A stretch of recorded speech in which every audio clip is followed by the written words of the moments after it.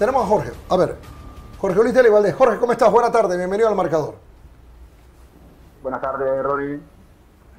Pon la música de Bomba Fulo, por favor. Eh, Jorge, este tema es mundial. Yo creo que ya lo leíste, te llegó en las redes sociales, eh, te han llegado los memes.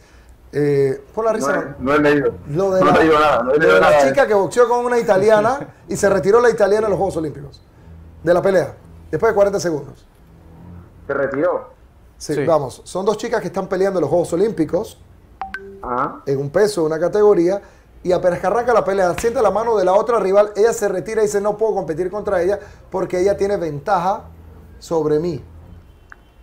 Conociendo el background, ¿no? Lógicamente, el contexto, antecedente y demás de la peleadora. acontece que la boxeadora, aquí la tenemos, de verdad que Jorge, tú eres un hombre también de educación física y que... Ajá, ahí, lo tienes, mira, esta es la foto. Ahí lo estás viendo en pantalla, Jorge. Ella se llama Imane Kelif. No es transgénero. Simplemente es una mujer que nació mujer, pero tiene un, problema endocrinólogo, ahí lo dice el texto, en la cual genera mucha más testosterona que una mujer normal. Entonces tiene un aspecto de hombre. Y hoy fue a pelear y bueno, el escándalo es que la pobre tipa, el tipa no de manera despectiva, la pobre muchacha. La italiana. La italiana, sí. No, no, ella. No, no, ella, la que estamos la argelina, la argelina, la argelina. La argelina la estamos pillando de tramposa, porque yo pensé que era un hombre que se percibía mujer y lo dejaron competir. Pero es una mujer que tiene un problema hormonal, que desarrolla mucha más testosterona que, que la mujer promedio, pero parece un hombre. Ok, Jorge, ¿ella debe boxear contra otra si es mujer? Si es mujer, sí, ¿no? Si tiene la ventaja. es mujer. es mujer. Es mujer, nació mujer. Es en el fútbol, Jorge, en el fútbol femenino, que mañana Jorge puede dirigir la, selección femenina, que pudiera pasar, porque esto pasa muy comúnmente. O en Europa también. Eh, ella puede jugar la liga francesa, eh, puede jugar la liga de Inglaterra porque es mujer. Porque esto en el boxeo no puede pasar. Porque pega más duro. ¿Por qué no? Es ahí el debate. Yo estoy de acuerdo que ella compita si es mujer. ¿Qué va a pasar con su exceso de testosterona? No lo sé.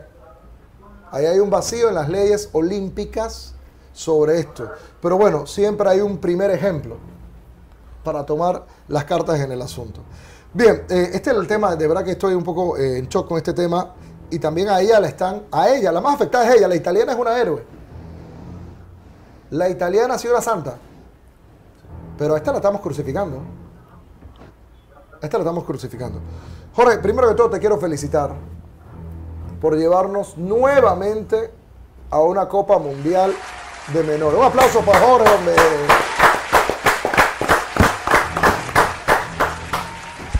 Muchas gracias, Aaron. Cuéntame un poco ese partido con Canadá, Jorge. Eh, bueno, era un partido bastante complicado, pero creo que la parte más complicada fuimos nosotros mismos porque nosotros eh, por momentos dejamos hacer cosas.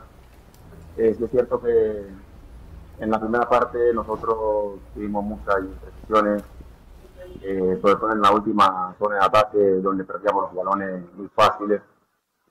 Eh, por ahí de repente eh, hay que también ver que son jóvenes, por ahí la ansiedad, también muchos de los jugadores quizás por temor a cometer errores eh, querían hacer la jugada un poco más fácil y eso por ahí lo llevaba a, llevar a, cometer errores porque eh, eran balones muy fáciles, muy fáciles en ataque, donde podíamos asegurarla un poquito más y la que la perdíamos muy fácil.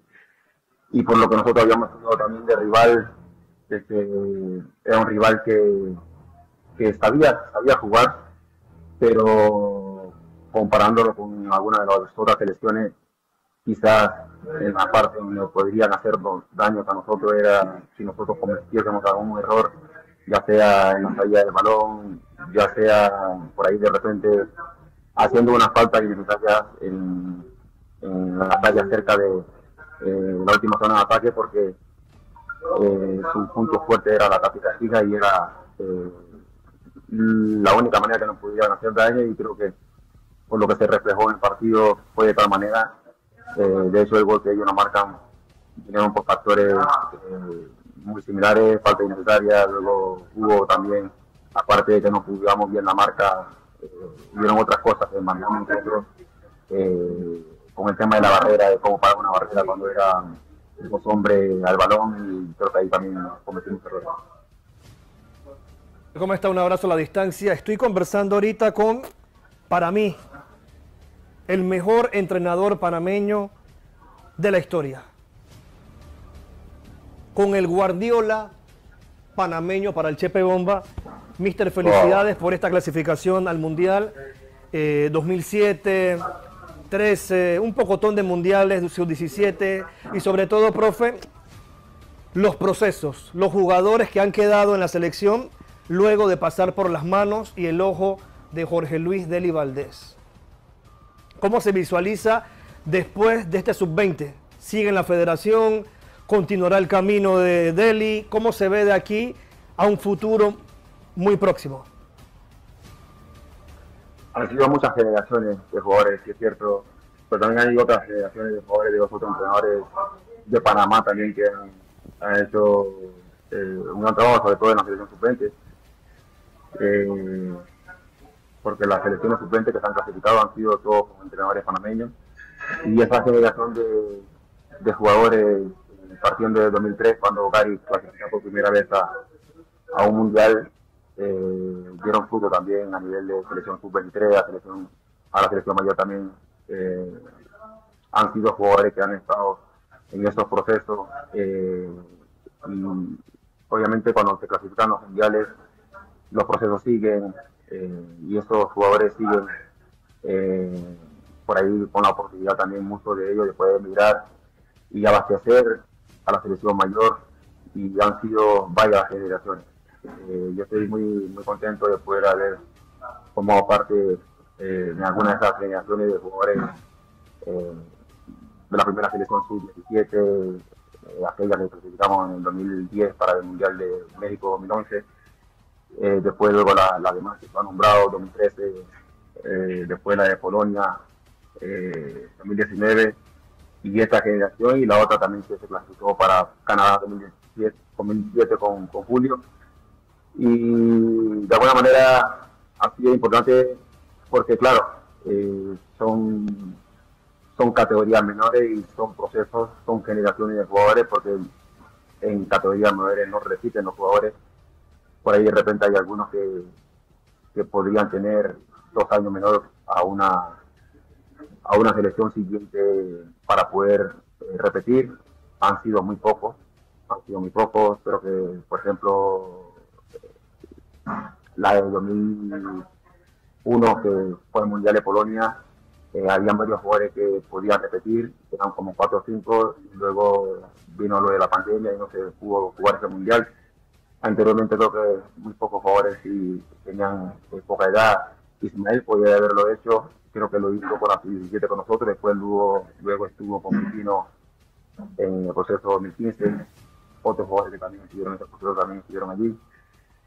Y es importante eso, ¿no? De que, de que las selecciones, yo siempre lo he dicho, que se clasifiquen para que el proceso pueda seguir y en un momento esos jugadores llegan a tener una oportunidad de poder emigrar poder eh, ser convocado en una selección mayor y, cuando los procesos siguen, obviamente es importante para eso, ¿no? para que en un futuro puedan abastecer estos jugadores a la selección mayor y, tener ese, este proceso como lo han tenido mi eh, buenas tardes, Jorge, profe. Eh, felicidades, te saluda Raúl Ochoa. Profe, ¿qué quiere este grupo de jugadores, grupo de cuerpo técnico que, clasifica nuevamente este mundial sub-20, ¿qué quieren para este premundial y qué desean para, el próximo año en Chile? Eh, aspirar a, llegar a cuartos, ¿qué quiere esta selección que está haciendo las cosas bien? Bueno, yo el primer día que me, que me senté con la federación cuando, cuando estaba por, por arreglar, de que yo quería, por lo que había desarrollado hasta ese momento, eh, yo, Jorge Deli, por lo que había desarrollado, eh, no venía solamente pensando en clasificarme a, a la, al Mundial de Chile. Yo quería, quería ganar el Mundial. Pero también yo dije que, que fuera paso a paso. Y el primer día que me reuní con los jugadores, también le hice lo mismo, de que de que yo quería ganar el premundial. Claro que era paso a paso. También le dije lo mismo de ellos, de que, de que para llegar a la final tendríamos primero que dar un paso que era, era clasificarse al mundial. Lo hemos logrado, hemos dado un paso importante. Eh, y nada, estamos con una oportunidad de poder, de poder hacerlo. Creo que tenemos material para hacerlo. Pero esto es paso a paso. Estamos todavía en unas semifinales y después ya lo, lo de lo del Mundial Raúl eh, es pensar después. Yo creo que eh, primero tenemos que terminar con esto y después a partir de aquí ya eh, incluso he hablado con Jaime de, sentarnos para, para, hacer una programación digna para, para también en un futuro pues tener una mejor selección para, para el Mundial.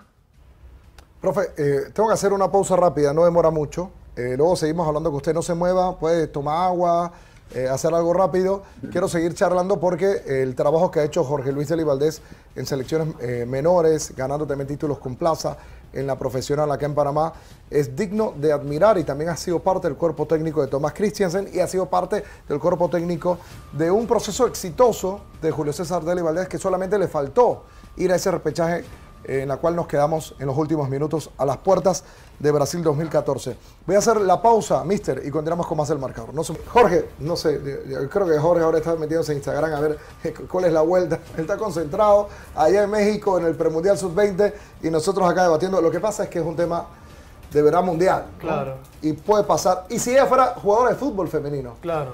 ¿qué hacemos con ella? No puede competir. Tuviera un mejor shoot que el de una chica promedio. No, fueron la Cristiana Ronaldo, una Messi. La verdadera bicha. Fuera más atlética, más rápida. Fuera una Marta. Eh, bueno, bueno. Eh, Jorge, acá tenemos a Cristian Colina, eh, que te quiere hacer algunas consultas y también a Emanuel Espino. Cristian, para que salude a Jorge Luis de Valdés. ¿Qué tal, profe? Felicidades por la clasificación al Mundial. ayer se generó un debate, mucho en redes sociales, incluso aquí en la mesa, sobre las formas y el resultado. Yo estoy seguro que usted sigue las redes sociales y ve los comentarios de la gente. ¿Hubo un debate de que clasificamos mal? Sí, hubo debate entre forma y resultado. No puede ser. Aquí estuvimos de acuerdo que el resultado prela por encima de todo, pero ¿qué opinión tiene Jorge Deli respecto a esto? No sé cuál es la forma. Yo sé cuál es el resultado, pero no sé cuál es la forma, no, no, no entiendo. Mucho Panamá. habla por ti. Eh, yo pienso que jugaste mal y que ganamos de chiripón. ¿Puedes decirlo así? No, no, no, porque a mí no me importa cómo, a mí me importa el resultado. Ah, a mí me importa clasificar al mundial. Eso habla por las redes sociales. Yo estoy hablando por el debate que se generó en redes sociales. No lo vi, no lo vi, no vi un debate. Yo sí, lo vi, Tacuara lo vio, de hecho ayer lo vi por acá. Pero un debate estéril porque sí, un debate de, de 3, 4, 5 ¿Cómo así? Estoy de acuerdo, pero quiero que responda el profe. Quiero que responda ¿Cómo así? Pero espérate, me encanta la pregunta. Gracias, Cristian. Ponga a Cristian en pantalla, puede sacar a Tacuara. Eh, Guachepe. A mí me encanta el debate porque esto yo lo he traído a colación siempre. Cristian Colina, que trajo la, eh, pregunta acá, mister, es fanático del Real Madrid y llevan dos champions, Leo Almengor, llevan dos champions jugando siendo inferior que Manchester City. Desde octavo de final hasta la final son inferiores a María, el, Olimerri. Saludos a Leo que está en sintonía. Y a Leito también que está aquí. O sea, y ninguno del Real Madrid cuando gana la Champions. Yo hago una pregunta sobre, sobre eso. Ajá, dígame. Bueno, solo que tú dijiste que, bueno, dice que el Real Madrid ganó dos Champions siendo inferior. Yo pregunto, nosotros ganamos el partido de ayer, ¿fuimos inferiores? No, exactamente, es que no, es, el debate. Pero el debate es ese, por eso quiero que, ¿cuál es su punto de vista sobre ese debate que se generó? Porque dicen, bueno, Panamá se echa atrás a defender. Bueno, yo te, yo te hago una pregunta sobre ese debate, de lo que acaba de decir Ronnie, comparando el Real Madrid, sus dos, sus, sus dos Champions, al partido de nosotros ayer, si nosotros fuimos inferiores. Es una pregunta. No, para mí no. No, para mí no. Bueno, entonces ya no hay más nada que hablar. Y no, y no creas, eh, Jorge, como todo técnico, mira, eh, música de bomba, por favor, Fulo. Ah, a mí me gusta decir las cosas como son. Aún, aún no teniendo un resultado supremo, a Tomás Christiansen, no, no opine, eh, mister, esto no es con usted, yo voy a dar, usted sale en pantalla nada más a Tomás Christiansen y voy a hablar, no, no, y voy a hablar como Ronnie Vargas. A, criterio de Ronnie Vargas, cédula 87887, ciudadano panameño de 38 años, nacido en la especialidad de transísmica. todo mundo está cuestionable en este país, menos Tomás Christiansen. Y para mí Jorge también. Ojo, aquí nadie cuestionó que le ganamos a Estados Unidos en la Copa América con ventaja numérica. Nadie cuestionó. Paralizamos el país. eh, Fufo allá le robó la bicicleta a un piedrero. Barceló llorando en la grada. Selva llorando con el sombrero pintado. Nadie cuestionó que le tuvimos a los gringos con uno. Es más, no estaban ganando con uno menos. Nadie cuestionó la victoria de Panamá. Ahora le ganamos a un rival superior como Canadá. Superior. No, le ganamos echado atrás. Esto- ¿qué, qué debate es esto? ¿Qué país vivimos? Le ganamos y punto y estamos en el mundial. ¿Sabes por qué? Porque voy a decirlo yo. Porque en uno dirige Tomás Christiansen, que es el preferido de todos, y en otro un panameño, que no es Tomás Christiansen, que se puede llamar Jorge Deli, Ronnie Vargas, Chepe Bomba, Tacuara, eh, Chacaldiño. Ganamos y punto. Si le hubiéramos ganado a Colombia, como le ganamos a Canadá, paralizamos este país. Nadie hubiera cuestionado la forma. Claro. Nos metieron cuatro. Y aún así, estuvimos felices. Y ahora le ganamos a Canadá. Y ahora que no, no, es que nos echamos atrás. ¿Contra quién estamos jugando? ¿Contra El Salvador? ¿Contra Antigua? ¿Contra Montserrat? ¿Contra Canadá? Que en el papel es más fuerte que Panamá. Y lejos. ¡Y lejos! Eso es todo lo que te quería decir, mister. Eh, puede continuar. Ahora sí. No, es, es que no puede haber comparación. Si no puede comparar selección mayor con selección juvenil. Ninguna categoría. ¿Por qué? Porque son procesos, son generaciones eh, y generaciones. La selección suplente pasada, solamente que quiero aprovechar y, y- y felicitar a, a Aymar y a, y a Rafa, que fueron los que anotaron, anotaron los dos goles el día eh, del partido contra Canadá. Y ellos estuvieron en el proceso pasado. Como dije, es difícil que repitan jugadores de un proceso a otro. Ellos son los dos únicos jugadores que están en este proceso y estuvieron en ese proceso de estos jugadores de 2003 que no pudieron clasificar en, en el Mundial pasado y ellos precisamente son los que marcan los goles y le dan esta clasificación a esta selección eh, 2005. Y no puedo compararla con selección mayor porque la selección mayor, si yo veo a los jugadores de la selección mayor, ya tienen varios pro- procesos jugando en selección mayor no sé cuántas eliminatorias tendrán muchos de ellos, no sé cuántas Copa Oro, cuántos partidos internacionales tendrán muchos de ellos. Y los partidos oficiales que juega esta selección, eh, un CAR y ese proceso de eliminatoria premundial aquí en México, nosotros estamos invictos. Estamos invictos en nueve partidos, nadie habla de eso. Hemos recibido tres goles en nueve partidos y hemos clasificado a un mundial. Por, eso pregunté yo, hice una pregunta sobre la pregunta que hizo, eh, que me hicieron, de que la forma, yo pregunté, nosotros fuimos inferior a Canadá, me dijeron que no. Entonces, yo no tengo más nada que de eso. Y no podemos comparar las dos selecciones. Este, Panamá, selección mayor, hizo un trabajo espectacular. Hizo un, trabajo espectacular en la Copa América. Y lo que está haciendo la selección sub-20 hasta el momento, un CAF y selección sub-20 premundial, yo creo que ha sido muy bueno. Lo que tú dijiste, Ronnie, no enfrentamos a unos Congo. No enfrentamos a unos Congo. Nosotros no nos podemos comparar ni contra México, ni contra Canadá, ni en infraestructura, ni en presupuesto, ni en presupuesto de lo que esas selecciones se manejan para ir a un mundial. No nos podemos comparar de ninguna manera. Y partiendo de allí, yo creo que, que hay que valorar muchas cosas. Nosotros también somos conscientes, los jugadores son conscientes.